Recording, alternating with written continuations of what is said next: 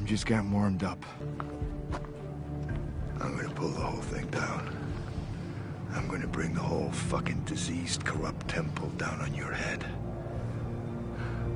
It's gonna be biblical.